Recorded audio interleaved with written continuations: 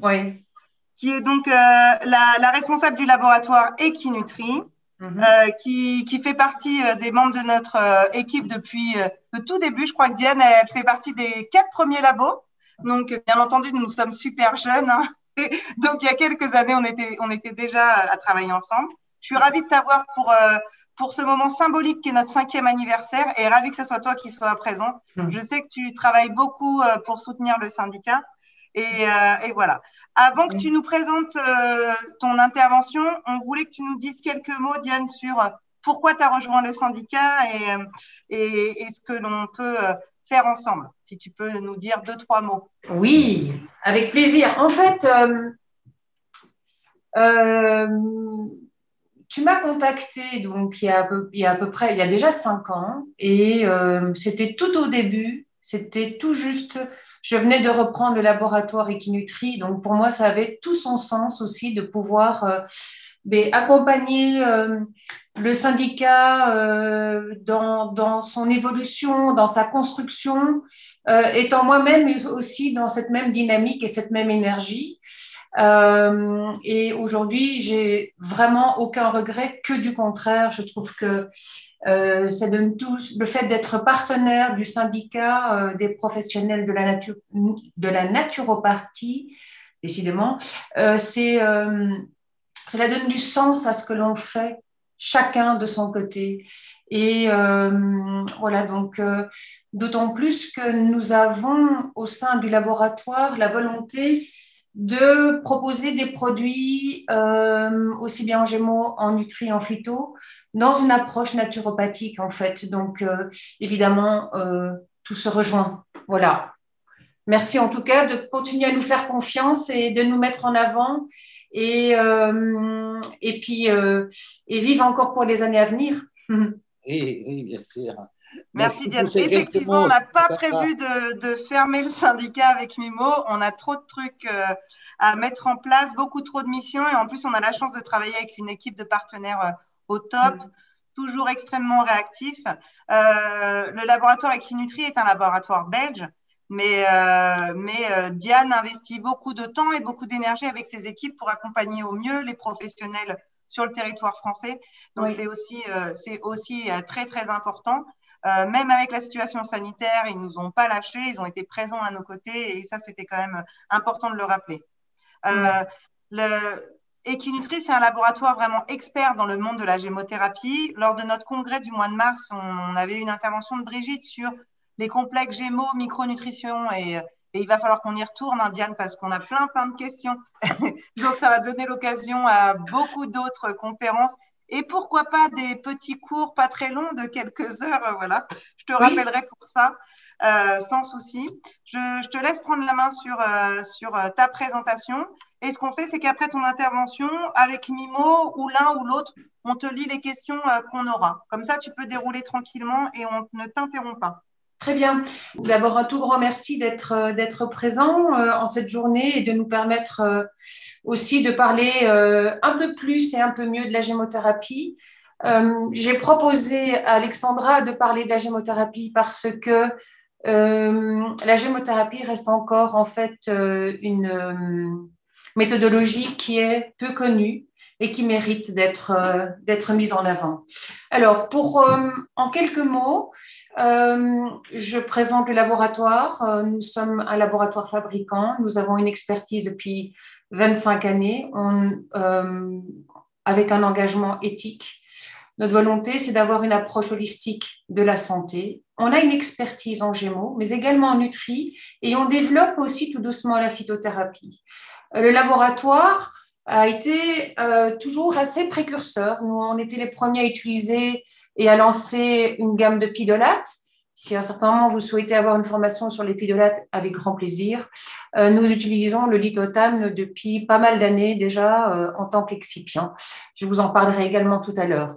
Alors, euh, le laboratoire répond aux normes pharmaceutiques en vigueur et j'ai une volonté de défendre et de valoriser le secteur du complément alimentaire. Donc, je fais partie du comité d'administration de BICEP en Belgique et donc, c'est le pendant du Synadiet en France. Et on travaille vraiment en étroite collaboration avec Synadiet, mais aussi en France et avec le IHPM au niveau européen. le, secteur du complément alimentaire est devenu, le cadre réglementaire est très rigoureux.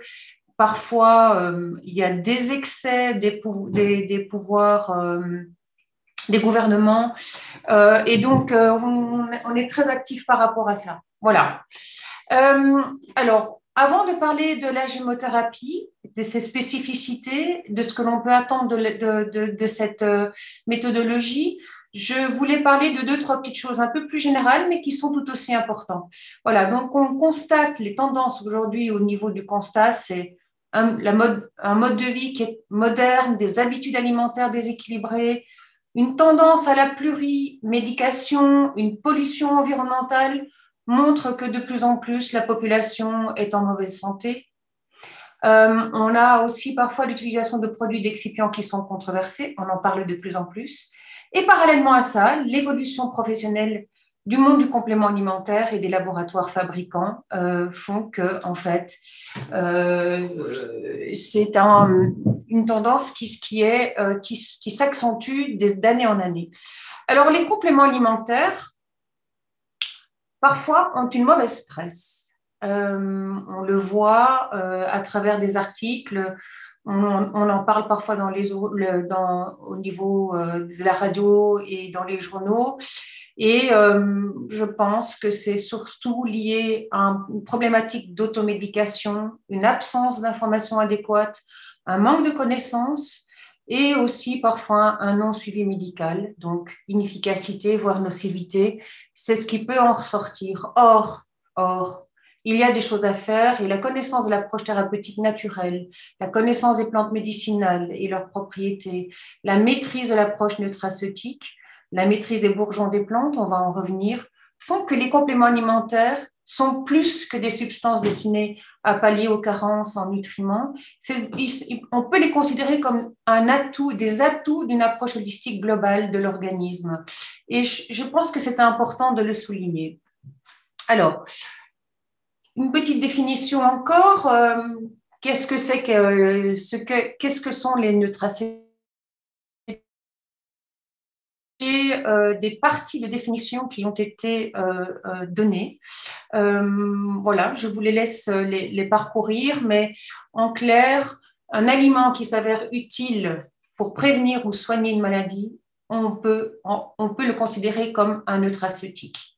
Donc, ce sont des, des, substances bioactives qui peuvent agir positivement sur l'état de santé, qui peuvent prévenir des maladies, qui sont dotés d'effets thérapeutiques et, des vertus, euh, et qui ont des vertus nutritionnelles complémentaires et supplémentaires à l'alimentation.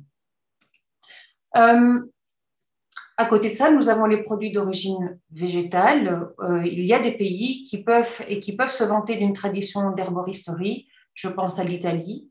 J'ai cité aussi la Belgique parce que je ne sais pas si vous le savez, mais le berceau de la gémothérapie, c'est la Belgique. Euh, euh, L'Allemagne aussi, les pays scandinaves, les pays slaves euh, ont été aussi des, sont des pays aussi de référence en connaissance d'herboristerie.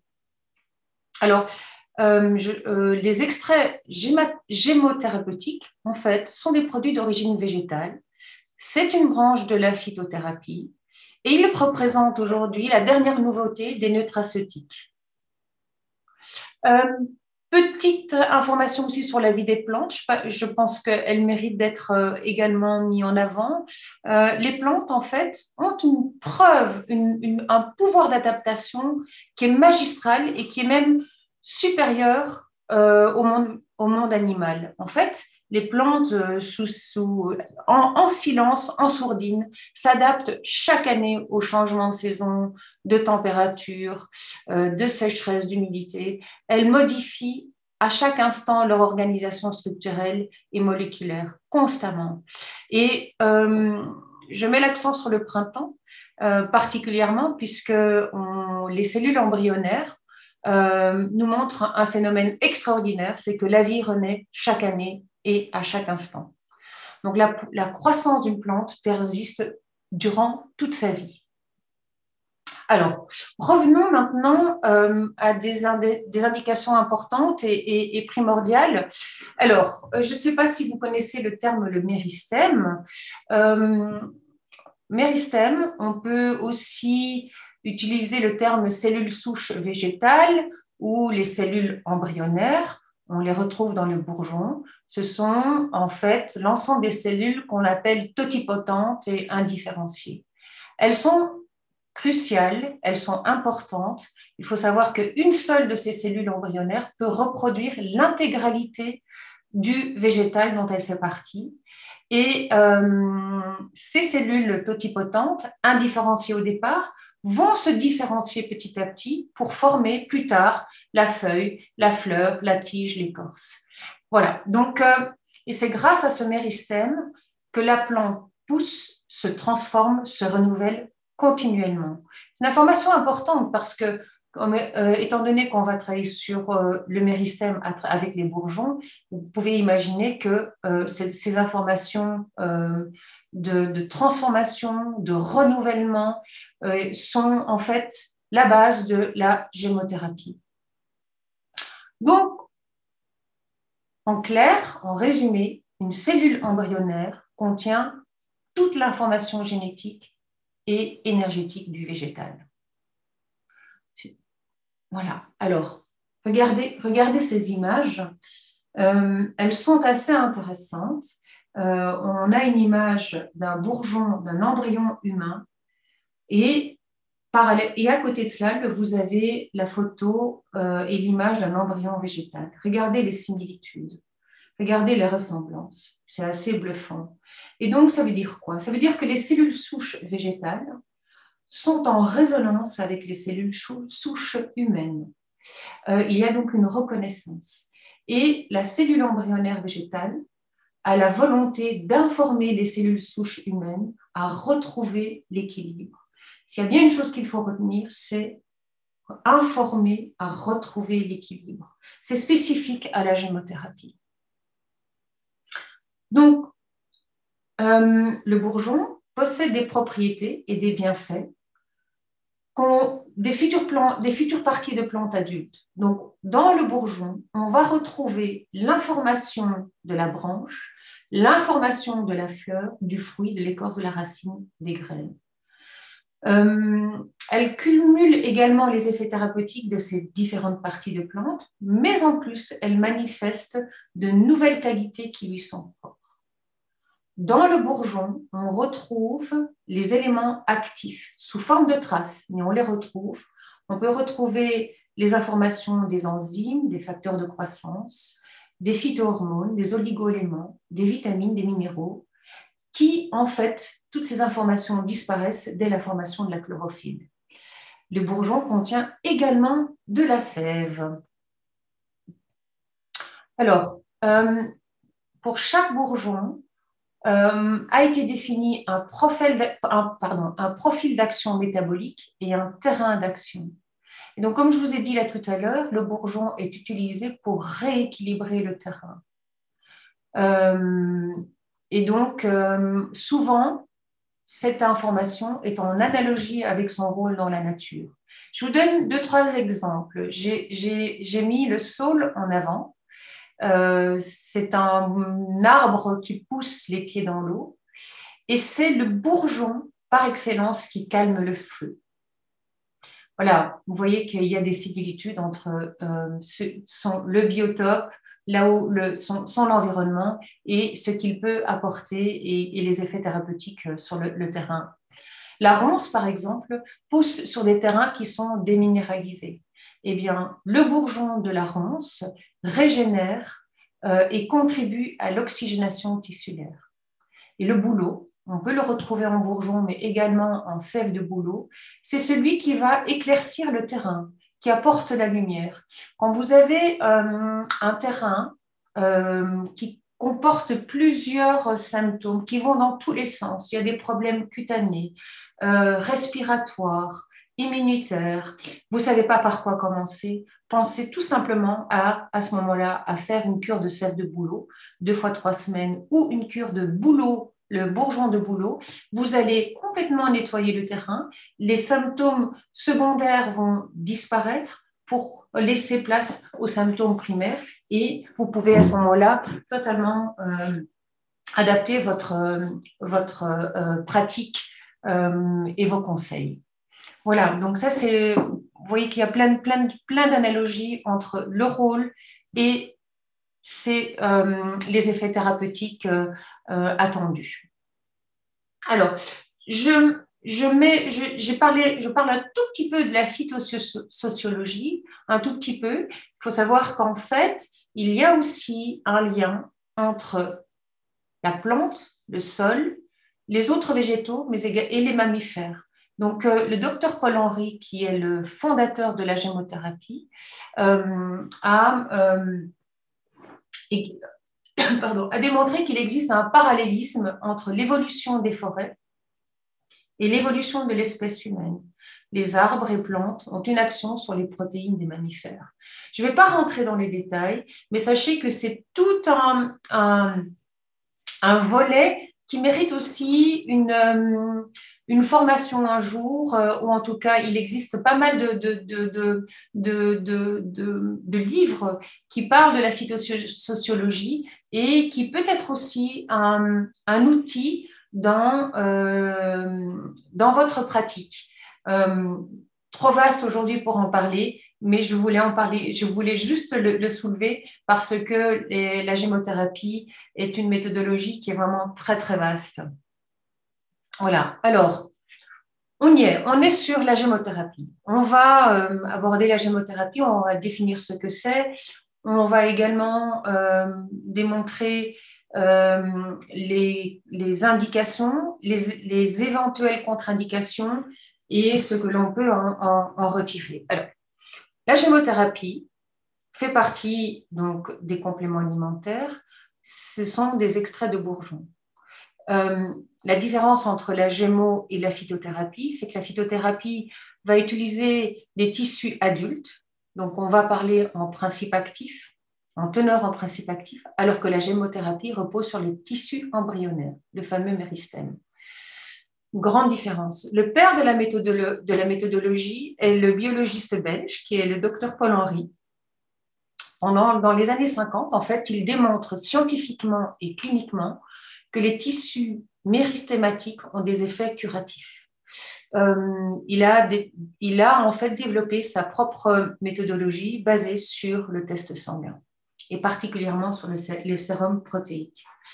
Au début, on parlait de la phytoembryothérapie, mais très rapidement, le terme phytoembryothérapie sera remplacé par la gémothérapie, qui est devenue en fait le nom, euh, le nom que nous connaissons aujourd'hui. Euh, la gémothérapie étudie les propriétés thérapeutiques des bourgeons, des jeunes pousses, des radicelles, mais, également des autres tissus indifférenciés. C'est une méthode naturelle de prévention et de traitement des maladies aiguës et chroniques, euh, aussi bien pour l'homme que pour l'animal. Je reviendrai également. Euh, la gémothérapie définit des méthodes de préparation, les indications et les éventuelles contre-indications. Elle évalue les applications, les interactions et synergies avec un remède phyto ou et ou nutrithérapeutique voire un traitement conventionnel. Elle est totalement dépourvue de toxicité, elle corrige les paramètres biologiques altérés, il existe des contrôles de qualité et elle a sa propre forme galénique. Euh, comme tout remède thérapeutique, une bonne utilisation reste l'élément crucial. Or, on constate aujourd'hui que la gémothérapie est encore assez méconnue Or, elle mérite sa place dans le secteur du complément alimentaire. Euh, je voulais prendre le temps aussi de vous expliquer la différence entre un macérat glycériné concentré et la fameuse version diluée qu'on appelle 1DH. Je l'explique tout simplement dans le slide suivant. Euh, un macérat glycériné concentré doit systématiquement utiliser les trois solvants, c'est-à-dire l'eau, la glycérine et l'alcool. Et donc, euh, les bourgeons sont systématiquement euh, vont macérer systématiquement pendant 21 jours dans ces trois solvants.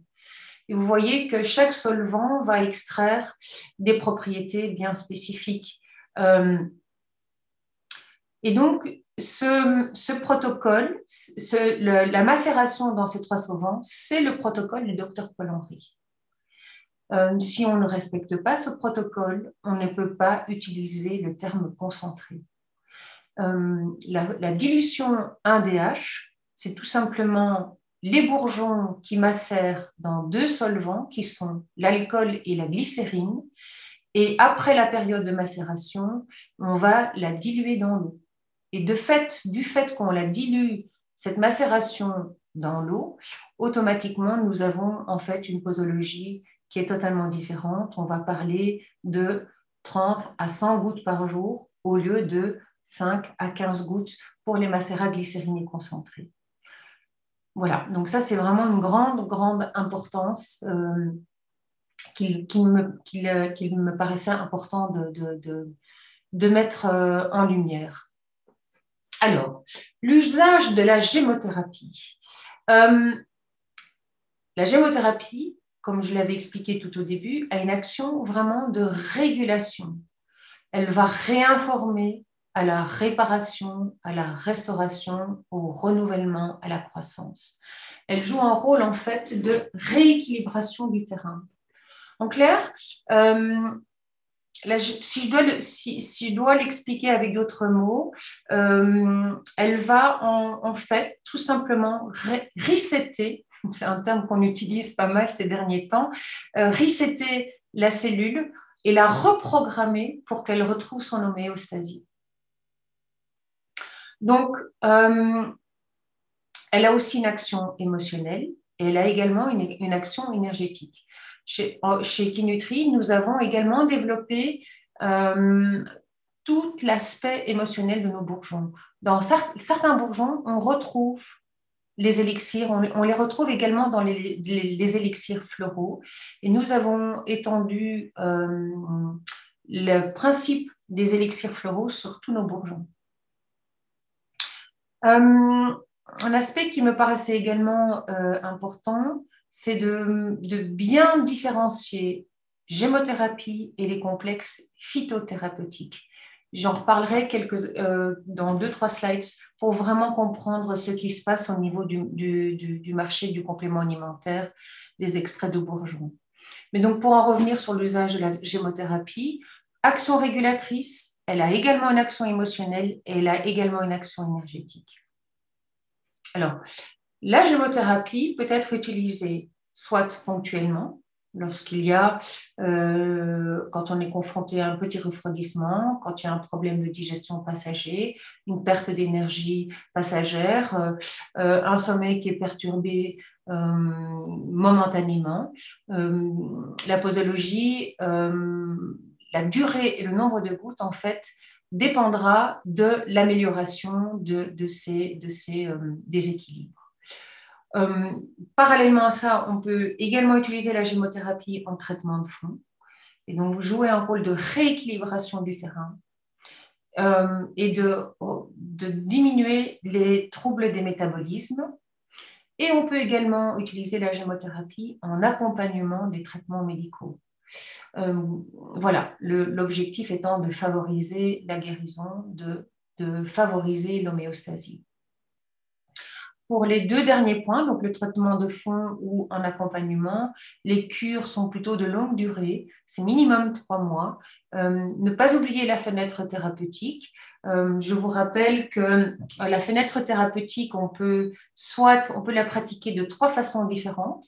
On peut prendre la gémothérapie du lundi, comme, comme tous les compléments alimentaires d'ailleurs, mais du lundi au vendredi, on peut arrêter le week-end ou faire trois semaines de cure, une semaine d'arrêt, ou trois mois de cure et arrêter pendant 15 jours, trois semaines pour reprendre.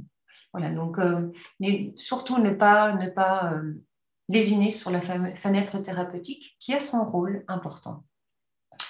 Au niveau de la posologie, euh, on a une posologie pour l'adulte entre 5 à 15 gouttes par jour toujours à diluer dans de l'eau et à répartir entre deux ou trois prises sur la journée. Ce qui est essentiel, c'est euh, il est important de prendre en fait les bourgeons en dehors des repas, toujours sur un, estomac euh, vide ou à jeun. Pour les enfants, ce qui concerne les enfants, euh, si vous avez une certaine pratique de la gémothérapie, on peut déjà utiliser euh, certains bourgeons dès la première année de vie d'un enfant, d'un bébé. Euh, sinon, euh, au niveau légal, on conseille, et c'est ce qui est indiqué sur nos étuis, c'est à partir de 3 ans. Alors, très simple, une goutte par année d'âge, tout simplement. Donc, de, un enfant de, de, de 0 à 1 an on va proposer une goutte, de 1 an à 2 ans, deux gouttes, de 2 ans à 3 ans, trois gouttes, et ainsi de suite, jusqu'à l'âge de 10 ans. À 10 ans, on retrouve la posologie de l'adulte. Euh, on peut également utiliser la gémothérapie pour nos animaux. Euh, en général, on propose une goutte par jour par 10 kg de poids. Alors, euh, petite astuce, si vous avez, si vous voulez soigner les animaux et en particulier les chats, euh, ils sont parfois très réticents euh, à, boire l'eau avec euh, quelques gouttes de gémothérapie. Très simple, vous mettez à ce moment-là quelques gouttes sur la, paume de votre main, vous caressez votre chat ou votre chien.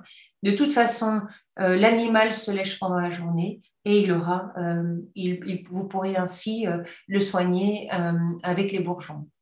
Et sur le plan émotionnel, donc, sur le plan plutôt subtil, ne pas dépasser les trois gouttes par jour et travailler plutôt sur du long terme également. Voilà. Donc, euh, au niveau des contre-indications, euh, c'est assez simple en fait. En règle générale, euh, la gémothérapie n'apportant pas de principe actif, c'est considéré comme une thérapie douce. Elle peut donc, comme je vous l'avais dit précédemment, être conseillée dès le plus jeune âge. Il y a cependant euh, une attitude de bon sens à, adopter. Euh, quelques exemples. Ne pas conseiller les bourgeons hormonaux, tels que le framboisier, le pommier, l'érel, le séquoia le chêne, avant la puberté. Bien sûr, en cas de pathologie hormonodépendante, hein, puisqu'elles ont l'information des, phyto, euh, phytohormones et évidemment en période de grossesse ou d'allaitement. Il y a également une prudence à observer lorsque vous avez euh, un patient, un client qui euh, prend des fluidifiants sanguins ou des anticoagulants. Les bourgeons d'olivier, de noyer et de noisetier possèdent l'information des oméga 3 et donc peuvent favoriser la fluidification sanguine. En cas de cancer, on déconseille le ginkgo et l'aulne. Ce sont des bourgeons qui favorisent l'angiogénèse. Et euh, en cas de cancer également, ou des cellules cancéreuses, le noisetier et le gui sont euh, à, éviter, même si on sait que le gui euh, est le bourgeon par excellence pour les cellules cancéreuses. Euh, étant donné que nous ne sommes pas médecins, euh, nous devons maintenir cette réserve de prudence. Voilà. Et donc, dernière petite chose, lorsque vous avez un patient ou un client qui suit un traitement médical précis, à partir du moment où vous allez commencer à utiliser parallèlement les bourgeons, vous allez devoir certainement adapter les traitements médicamenteux toujours avec la collaboration du médecin. Euh, je voulais euh, également euh, mettre en évidence la gémothérapie versus les complexes phytothérapeutiques, dont j'en parlais de trois slides auparavant. Ce qu'on constate aujourd'hui sur le marché, c'est qu'on trouve de plus en plus des marques euh, qui mélange les bourgeons avec d'autres euh, euh, phytothérapies telles que les teintures mères, les hydrolats, les huiles essentielles, la propolis. Pour moi, on est en train de galvauter le terme gémeaux puisqu'on se retrouve face à des complexes qu'on dit à ce moment-là phytothérapeutiques. Elles n'ont pas les mêmes, elles ont, elles ont le mérite d'exister, euh, mais euh, n'ont pas la même euh, vitesse d'action. Et on, va plutôt à ce moment-là tabler sur la symptologie. Et malheureusement, le, le côté régulateur des bourgeons risquerait de passer à la trappe. Donc, si vous êtes ouvert aux éléments, euh, les cinq éléments, euh, les bourgeons sont associés à l'élément eau, euh, comme les hydrolats, comme les élixirs ou les extraits hydroalcooliques, alors que les huiles essentielles et teintures mères sont plutôt l'élément feu. Et lorsque, pour moi, lorsqu'on retrouve des bourgeons associés avec des huiles essentielles et des teintures mères dans un même, un même flacon, on pourrait se poser la question qui fonctionne, ce qui, comment cela fonctionne et qu'est-ce qui fonctionne encore. Voilà, donc c'est une petite, euh, petite aparté, petite parenthèse que, qui méritait de mettre également en avant. Euh, je ne dis pas qu'il ne faut pas utiliser les huiles essentielles et les teintures mères, mais si vous voulez utiliser les huiles essentielles avec une, les bourgeons, il faut bien les séparer. Euh, on prendra peut-être par exemple les bourgeons le matin à jeun ou le soir avant d'aller se coucher et les huiles essentielles et les teintures mères pendant la journée, par exemple. C'est tout à fait possible. Alors, voilà, donc euh, euh, je me permettais maintenant de mettre en avant notre gémothérapie pour que vous compreniez euh, ce, que nous, ce qui nous sommes, ce qu'est notre gémothérapie et, et ce qui nous permet aussi de nous différencier par rapport à les différentes gammes en fait. Donc, nous, mettons sur le marché une gamme de macérat glycériné concentré bio, qui est labellisée par Certicis. Nous avons la volonté de respecter scrupuleusement la méthode traditionnelle du docteur Paul-Henri, donc évidemment la macération dans les trois solvants. Euh, petite précision, euh, aujourd'hui, nous utilisons de la glycérine végétale naturelle issue du colza. Euh, il existe aujourd'hui euh, également des, gammes qui proposent euh, la glycérine bio. aujourd'hui, j'ai un droit de réserve sur la glycérine bio puisqu'elle vient de Chine et elle est souvent, elle est tout le temps issue du soja non transgénique. voilà, on sait aujourd'hui que le soja non transgénique euh, bio est un mélange de, soja non transgénique et de transgénique. Donc, il y a une confusion et il y a un manque de traçabilité. Et euh, la raison pour laquelle nous continuons à maintenir la, glycérine végétale issue du colza, c'est parce qu'on peut vous garantir qu'il n'y a pas d'OGM et que surtout, elle, euh, il y a pas, elle, est non allergène en fait. la glycérine issue du soja présenterait des, des symptômes d'allergie. Euh, l'eau, chez nous, elle est filtrée euh, par euh, un système de lagunage. L'alcool de blé bio est issu de la France et la glycérine végétale naturelle issue du colza vient soit de la France, soit de l'Allemagne ou de la Belgique. Et nos bourgeons sont français. Je vous expliquerai plus tard la raison de, ce choix. Donc, Méthode traditionnelle du docteur Paul-Henri, donc macération dans les trois solvants, sans ajout de teinture mère ni d'huile essentielle. Nos bourgeons sont frais, issus de sites sauvages, cueillis et récoltés à la main. Je peux vous garantir qu'ils sont ni cryo-broyés, ni réfrigérés et ni déshydratés.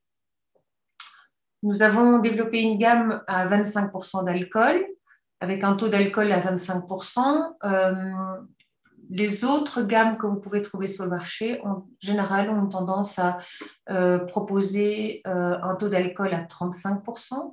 Dès le moment où vous avez des complexes euh, associés avec des teintures mères, vous êtes automatiquement à un taux d'alcool de 50%. On a une concentration très élevée de bourgeons qui est supérieure à 12%. Le protocole du docteur Paul-Henri euh, préconisait une concentration de bourgeons entre 3 et 5% La raison de ces 12% chez nous donc est très simple, c'est qu'on veut compenser le taux d'hygrométrie de nos bourgeons frais en, en rajoutant des kilos de bourgeons supplémentaires dans, la, dans la macération, en fait tout simplement parce que cette méthodologie traditionnelle du docteur Paul-Henri qui stipule clairement qu'il faut un tiers d'eau, un tiers d'alcool et un tiers de glycérine végétale, euh, le taux d'hygrométrie de nos bourgeons euh, ne peut pas euh, déséquilibrer le, le, protocole du docteur Paul-Henri. C'est la raison pour laquelle nous rajoutons ces kilos de bourgeons supplémentaires et qui fait qu'en en, fin de, course, nous avons une concentration exponentielle concentration puisque supérieure à 12%. On vous garantit une traçabilité totale. Nos, macérations sont dynamisées et nous avons aussi, euh, nous véhiculons la charte de cueilleur française, qui est une éthique humaine, écologique et environnementale. Euh, c'est une raison très simple. si nous avions un territoire aussi grand et aussi diversifié que la France, nos bourgeons seraient belges, mais il y a une réalité de terrain qui est indéniable. Euh, la gémothérapie est assez facile d'emploi et nous proposons euh, des flacons compte-gouttes de 30 ml, euh, ce qui correspond à un mois de traitement en curatif et deux à, deux à trois mois en traitement préventif ou d'entretien. Pourquoi? Tout simplement, en traitement curatif, on va plutôt préconiser entre 10 et 15 gouttes. À partir du moment où on est dans un traitement préventif ou un traitement d'entretien, on va plutôt préconiser entre 5 à 10 gouttes. Voilà. Donc notre gamme est très complète, elle couvre un large spectre de pathologies. Nous proposons aujourd'hui 51 unitaires et 33 complexes. Euh, nous avons aussi déterminé euh, les différents domaines d'application par des codes couleurs et des pictos que vous allez systématiquement retrouver sur euh, nos étuis, sur nos, aides à la vente, sur les formations. C'est assez intéressant parce que nous avons soit une mémoire visuelle ou une mémoire auditive et le fait de pouvoir travailler sur les deux mémoires, eh bien, euh, c'est très, euh, très intéressant et très facile de, de, pour les détecter et les comprendre. Alors, un mot sur la charte de cueilleur chez Equinutri. Donc, euh, c'est une éthique. la charte de cueilleur a une éthique, trois volets. Une éthique professionnelle, environnementale et écologique et une éthique humaine, en fait. Donc, on a la volonté de respecter la législation et les recommandations des institutions. Les cultures des plantes euh, sont, des sauvages sont certifiées euh, agriculture biologique par EcoCert. Euh, nous faisons appel à des experts qui ont une connaissance botanique. Les cueillettes, la cueillette se fait toujours à la main par les professionnels du monde des plantes et on a un souci constant de préserver l'environnement, la diversité et la biodiversité. Donc, nous n'allons pas épuiser nos plantations. Par exemple, euh, on préconise l'éco-cueillette euh, pour la gestion durable des sites. Euh, donc, comme je vous ai, on va maximum, maximum cueillir entre 10 et 15% de bourgeons par plantation on préserve les, arbres et les arbustes de petite taille. Et pour ce qui est de la sève de bouleau, on, ne fait que, on vous garantit qu'il n'y a qu'un trou par arbre et une alternance annuelle au niveau de la récolte. Traçabilité, certification, démarche locale, préservation des ressources naturelles, c'est tout ce qu'on peut retrouver dans l'éthique euh, professionnelle, environnementale et écologique. Au niveau de l'éthique humaine, euh, nous faisons appel à des coopératives agricoles et professionnelles euh, qui ont la volonté de partager leur savoir-faire, leurs pratiques sur la bonne vieille euh, réflexion paysanne, une démarche biosolidaire, bioéquitable. Les prix pratiqués permettent à chaque producteur et chaque cueilleur de vivre décemment de leur métier le respect des terres, des animaux et de l'homme basé sur les rythmes naturels, c'est notre, c'est notre leitmotiv.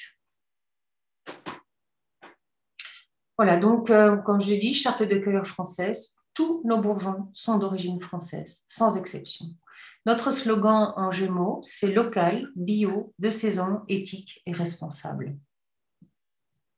Voilà, donc je me, on, termine la gémothérapie. Euh, j'espère que tout a été très clair. Je, voulais juste mettre l'accent peut-être aussi sur notre autre volet, qui est la nutrie et la phytothérapie. Euh, c'est aussi, euh, nous avons aussi une expertise dans, ces domaines, dans ces, ces secteurs, et donc toujours avec une prise en charge thérapeutique à vision holistique et globale. on a formulé des synergies en adéquation avec la biologie tant au niveau des complexes en nutrithérapie. Donc, dans chaque gélule, vous allez retrouver une synergie de minéraux, d'acides aminés, d'acides gras, de vitamines, de principes actifs de plantes, d'antioxydants, et, etc. Euh, donc, c'est la matière. On apporte la matière à nos cellules pour qu'elles puissent fonctionner. Et les complexes en gémothérapie, entre 3 à 4 bourgeons, formulation de 3 à 4 bourgeons, pour la recherche de la rééquilibration. Au niveau de nos complexes en gémothérapie, je me permettais de rajouter peut-être une information aussi intéressante, c'est que euh, chaque complexe a été formulé en termes de réinformation, drainage, et on joue également sur le côté, le côté émotionnel. Euh, on joue sur les trois plans dans les complexes. Ce qui, ce qui, ce qui, ce qui est aussi également très important, c'est que euh, il faut savoir que certains bourgeons, quand vous les mettez ensemble, ils ont tendance à s'annihiler. Il faut le savoir. D'autres bourgeons, quand on les met ensemble, vont se potentialiser. Et donc, nous faisons également ce travail euh, en interne chez nous pour associer les bourgeons qui vont se potentialiser et se et se complémenter. Toujours dans cette recherche de rééquilibration. Euh, tous nos complexes ont des numéros pour une facilité d'identification. Et l'association Gémeaux-Nutri permet d'avoir un effet global beaucoup plus performant à des moindres dosages. C'est la formation qu'on a donnée, euh, la dernière formation qu'on a donnée avec euh, Brigitte pour que vous puissiez comprendre tout le concept que nous avons développé. Alors, la potentialisation entre la Gémeaux, Nutri et Phyto comporte pas mal d'avantages. Euh, le respect de la biologie, une prise en charge totale et globale, des résultats durables, une efficacité augmentée, la baisse des dosages de nutriments, une très grande rapidité d'action et une reconnaissance euh, euh, optimale de nos matières premières. Euh, notre spécificité aussi au niveau de la fabrication de nos gélules, c'est que nous avons la, volonté de ne pas utiliser d'additifs controversés. Euh, notre euh, excipient principal est le lithothamne. On remplace parfois le lithothamne par la moringa, la spiruline, parfois même les glucoolysaccharides en fonction de ce que nous voulons atteindre au niveau des synergies et de nos complexes. Euh, on sait aujourd'hui que le dioxyde de titane et le dioxyde de silicium sont euh, mis sous la sellette. Euh, ils comportent un danger pour la santé puisqu'on les sait, sait qu'ils sont cancérigènes. Et le stéarate de magnésium, aujourd'hui, est une molécule qui est complètement transformée, qui est une molécule qui n'est pas naturelle, qui de ce fait entraîne un encrassement hépatique une précipitation rénale et, euh, et, euh, et, en fait, euh, le, plus, le plus important, en fait, a tendance à obturer le passage de nos nutriments au niveau de, de, nos, de notre intestin. Voilà.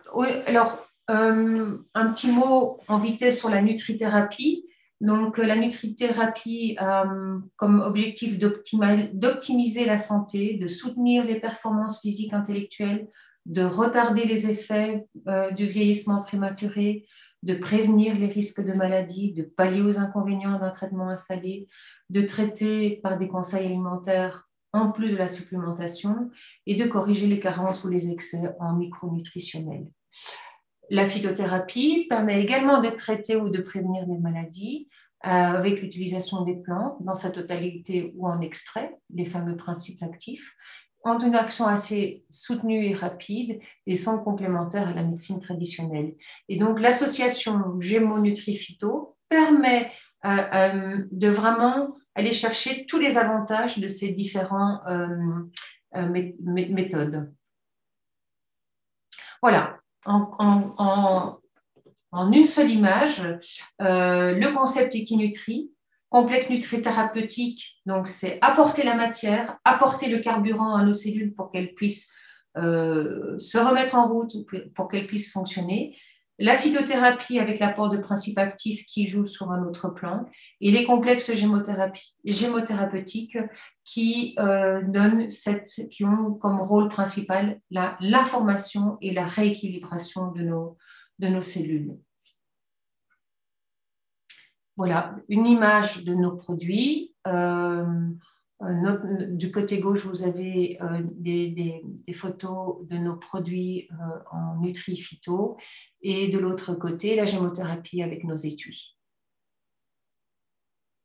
Au niveau du support, nous proposons aux professionnels de la santé des compendiums spécifiquement sur la gémothérapie et puis un autre compendium qui euh, met en avant tous nos produits en nutri et phytothérapie.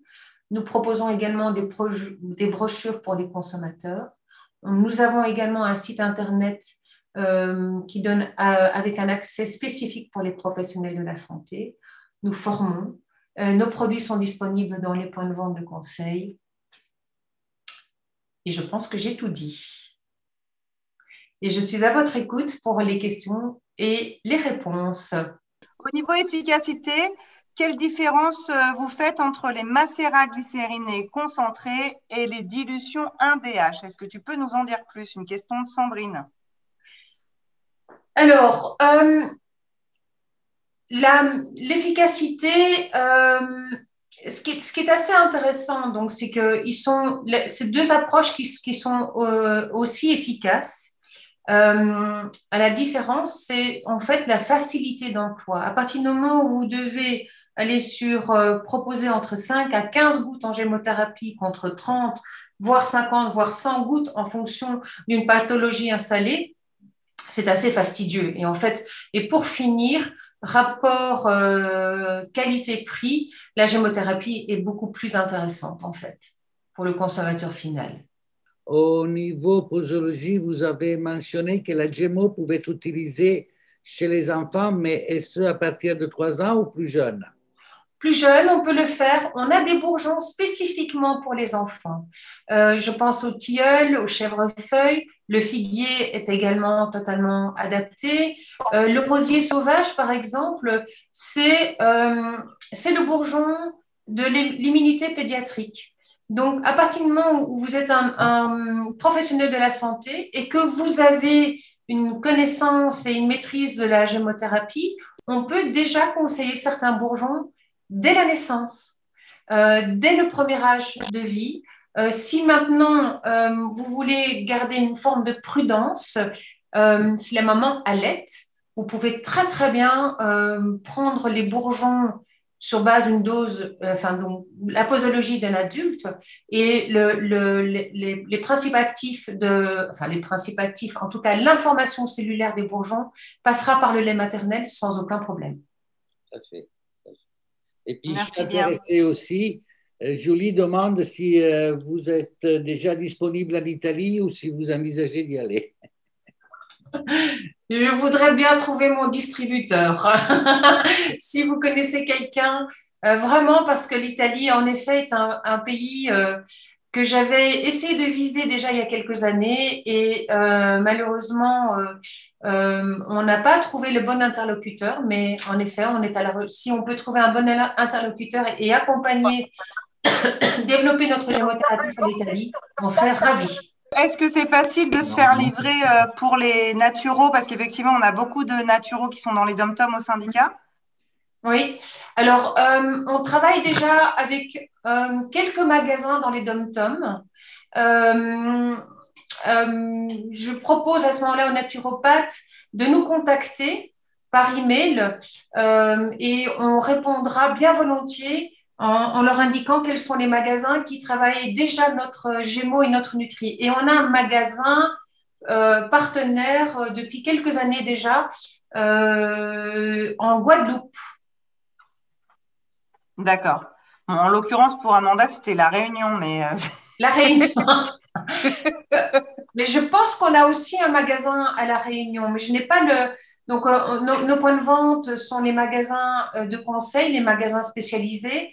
On a des points de vente à La Réunion aussi, me semble-t-il. Au niveau du mail, je, on met quel mail Le mail contact?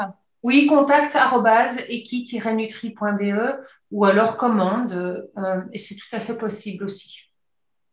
Ok. Commande sans S. On va, mettre la boîte mail comme ça. Euh, il, y a, Sylvie qui n'a pas compris pourquoi euh, pas de Ginkgo et Olne, pour quelle pathologie? Alors. Parce que c'était avant, mais. oui, c'est le, le Ginkgo et l'Aulne favorisent ce qu'on appelle l'angiogénèse. Et donc, euh, vraiment, en cas de cancer, euh, c'est la seule grosse contre-indication. Le ginkgo elone, c'est à proscrire en cas de cancer. C'est sûr. Sandrine, elle demande par combien de gouttes on démarre un traitement? 5 gouttes ou directement 15 Tout dépend de la pathologie. Euh, lorsqu'on a déjà une pathologie qui est bien installée et qu'on veut donner un coup de, un coup de boost, on peut aller jusqu'à 15 gouttes par jour. Euh, l'idéal, c'est de, répartir ces 15 gouttes sur la journée, entre deux à trois prises. Il vaut mieux toujours euh, le faire sur la journée pour que l'organisme puisse aller rechercher à des moments dans la journée ben, les, euh, les, propriétés des bourgeons. et dès qu'on voit des améliorations, on peut commencer à diminuer la posologie pour aller entre 5 à 10 gouttes. Voilà, ça c'est tout un c'est toute une alchimie qu'il faut et, qui, faut que, qui fait qu'on doit accompagner vraiment euh, le, notre patient ou notre client euh, euh, assez, dans, les, dans les semaines qui suivent le début de la, de la prise en fait. Il y, a, il y a une question de Sandrine qui souhaite savoir si les compendiums, tu peux les envoyer aux apprenants. Après, voilà, il faut que vous soyez quand même des apprenants avec une envie de travailler parce que c'est du très très très très haut niveau les compendiums chez chez Equinutri. Donc ça veut dire que ça coûte de l'argent et je parle à ta place Diane t'as vu. Mais au moins c'est pour entendre. Euh, je, je, je, fais attention euh, euh, aux, aux, charges de mes laboratoires partenaires. Donc effectivement Sandrine euh, le, ils, sont, ils sont engagés auprès de syndicats depuis euh, la, la création pour accompagner aussi les apprenants, donc il n'y a pas de raison mais c'est pas un compendium pour euh, mettre au fond d'un placard, c'est un compendium pour le bosser, non. quoi. Non, non, parce qu'on a vraiment mis toute notre expertise et notre savoir-faire euh, au, service des thérapeutes euh, et des professionnels de la santé et on le fait vraiment avec beaucoup de plaisir.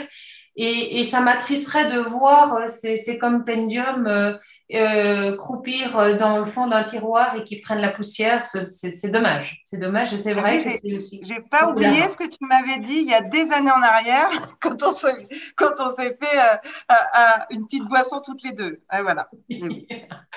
Mais c'est avec plaisir. C'est comme ça qu'on se transmet. Moi, ma volonté de se transmettre et le meilleur moyen, c'est de pouvoir mettre à la disposition euh, ces compendiums. Vraiment, avec plaisir. Et Hervé, tu vois, on n'avait pas fait une bière, nous, avec Diane. Tu pourras faire une bière avec Diane quand tu es là. Hervé, on, on la fait, nous, la bière. Hervé, on y va, nous. On aime bien la bière en Belgique. Hein.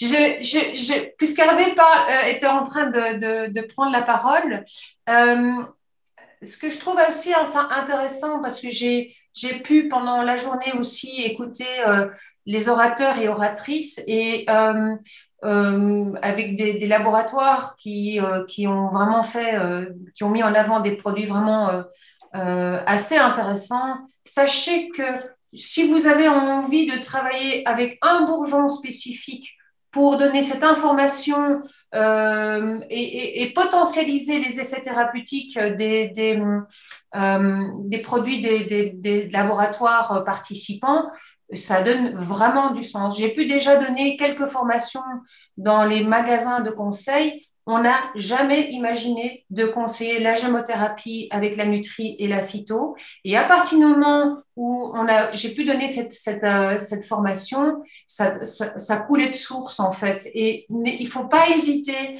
à de temps en temps aller chercher les informations sur la gémothérapie pour potentialiser les effets thérapeutiques des, des, produits des autres laboratoires. Il n'y a pas qu'Equinutri. il y a vraiment des choses intéressantes sur les marchés aujourd'hui et, cela, cela mérite d'être mis en avant. Merci Diane pour ton, ton partage avec tous les autres laboratoires. Bon, peut-être que je peux vous mettre avec une petite formation, Hervé et toi, gémothérapie, mycothérapie. Je vous propose. Après, oui, En plus, je fais ça devant public comme ça, je sais que vous, vous sentez super. Non, tu as envie de jouer, Diane Bon, ah bah, voilà. De toute façon, c'est très simple, Alexandra. Si Hervé, Hervé peut prendre la parole, mais pas plus tard qu'il y a un mois, on s'est appelé, Hervé et moi, et on s'était dit, et si nous faisions une, une formation qui associe les bourgeons avec la mycothérapie? Il me dit, mais quand tu veux. Donc, bah, écoutez, si vous cherchez un organisme de formation avec les accréditations, sachez qu'il y a le syndicat des professionnels de la naturopathie, qui a une très bonne plateforme d'e-learning, qui a euh, des outils euh, digitaux au top, une équipe administrative ultra motivée.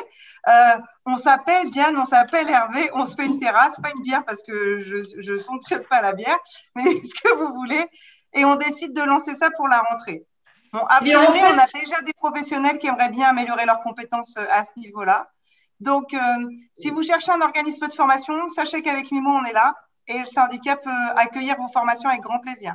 Alexandra, tu nous lances un défi, mais on est prêt à le relever. Je suis certaine qu'Hervé sera d'accord. Vous savez que je suis une compétitrice, hein, tous les deux, donc euh, Bon, bah, merci beaucoup, Diane. Merci. J'espère que vous prendrez autant de plaisir que moi à lire euh, Compendium d'Equinutri euh, et que vous pourrez euh, conseiller encore plus les différentes gammes de produits. Tout à merci fait. Beaucoup. Merci pour cette belle journée. À bientôt. Belle continuation. Merci, Diane. À bientôt. Au revoir. Au revoir.